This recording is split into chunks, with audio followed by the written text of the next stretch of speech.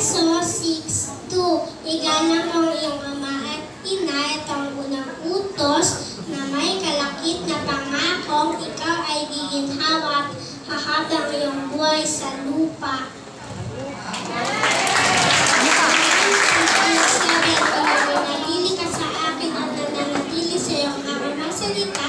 Inyong ingay sa toto'y ibibigay sa inyo.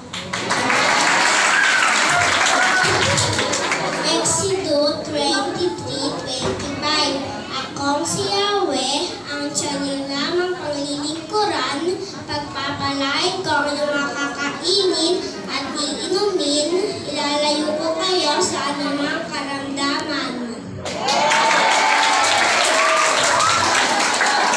John 3:16 For God so loved the world that He gave His only begotten Son, that all who believes in Him shall not perish but have everlasting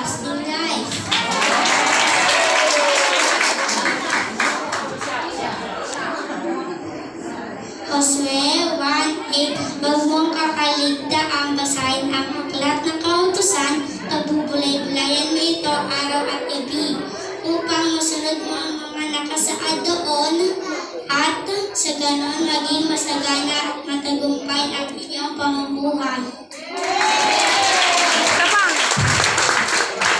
Walang na iyong 5, verse 7. Pinagpa